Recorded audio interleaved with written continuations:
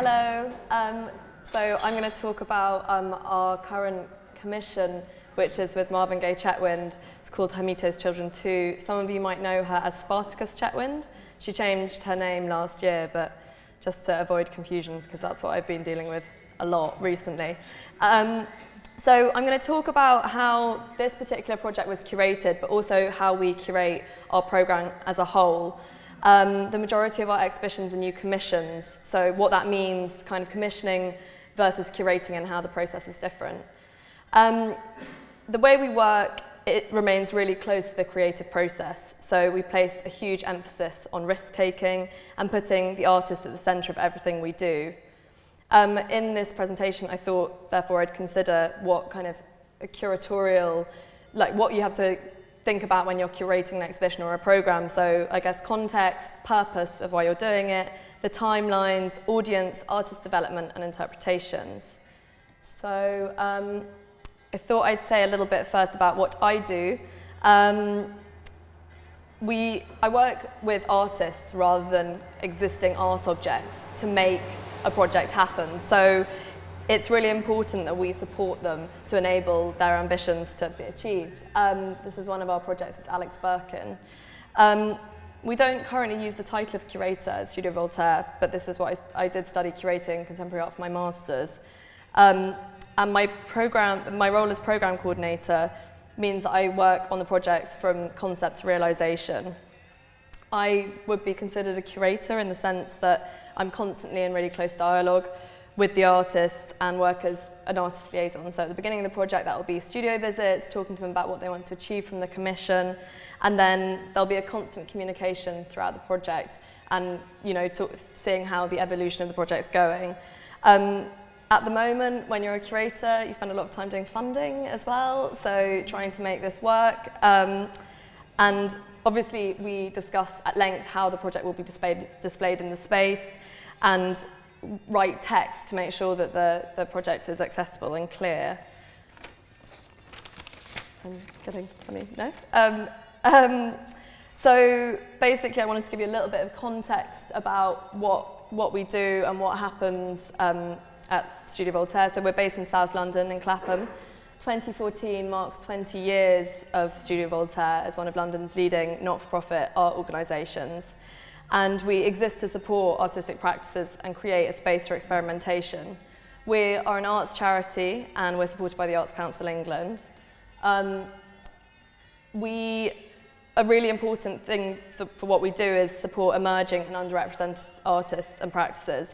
So as a direct um, result of our activity, lots of artists have gone on to do, kind of have much bigger exhibitions and shows. This is Phyllida Barlow's project with us in 2010, and very soon after that, she had a show, a two-woman show at the Serpentine, and then went on to um, be awarded the Duveen Commission at Tate Britain. And she was much older when she had her show with us. She was in her 60s, and that's something we're kind of non-generational. Even though we work with emerging artists, it's not really, it, we're not really interested whether those emerging artists are 20 or 60, which is quite a unique thing in terms of organisations of our scale. Um, so I'm going to talk to you guys a bit about Marvin's work. Um, this is an image of a work that she made called An Evening with Jabba the Hutt in 2003. This is a still from one of her performances, Homemade Tasers. And then this is um, an image of the performance that took place at Studio Voltaire in September, Hermito's Children, and this is a clip of it being filmed in our space. So this is the gallery space. Um, so Marvin's work is gen generally characterized by a kind of joyful, anarchic deconstruction of grand narratives. Um, she, she constructs collective performances, and it's deliberately amateurish and raw. Um, she also has this kind of quite Brechtian collapse between the audience and the actor, and so it's kind of completely non-hierarchical. Um, she, she skins many 21st century concerns with a humorous touch, whether it's political disenchantment, reactions against slick professionalism, or the breakdown between real, fictional, and virtual word, worlds. Um, at Studio Voltaire, we, we work with artists to develop long-term relationships and quite often work with them on multiple occasions. This is um, an image from 2005 um, when Marvin was known as Lally, which was her original name before she was Spartacus. Um, and it was, it's called The Walk to Dover, and it was an off-site commission that emulated the narrative of Charles Dickens' novel David Copperfield. Um, Marvin led a seven-day walk from London to Dover with a group of Victorian urchins, and um, as David Copperfield foraged for food, the group also did this. Um, Copperfield's journey tracked his shifting social status and explored class structures in Victorian England. And when Marvin was doing this, she wanted to draw comparisons between the debt prisons of Victorian London and contemporary credit card culture.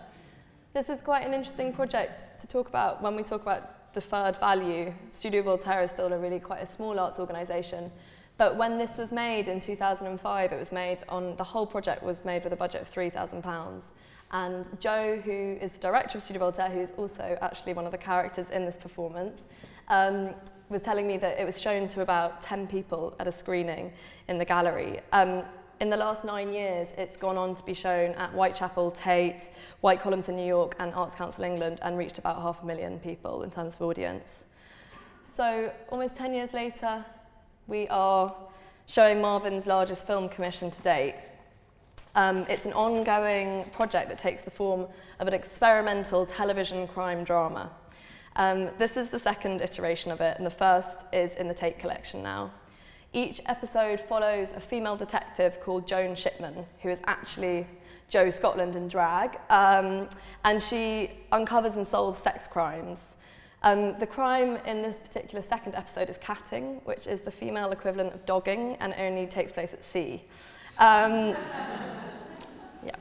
Um, so it, the commission's been filmed over the last two years in various locations, um, including Gozo, Glasgow, Australia, and then finally London at Studio Voltaire. Um, the film combines live footage of live performances and then staged cinematic sequences. And we hosted the final performance at Studio Voltaire in September, um, which kind of is the climax of the whole film. And in that performance, which is called Listen Up, um, we had kind of 30 members of her troupe in the gallery space, which is set up, uh, the installation is remains now, so if you go and see the exhibition, that's what you see.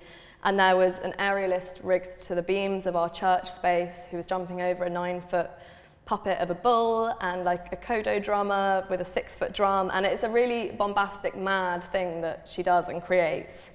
Um, so the film and performance combine an eclectic range of sources from history, literature and both high and low culture. Um, Children 2 includes Catwoman, Minoan Bull Leaping, Star Wars and Mary Renault's The King Must Die.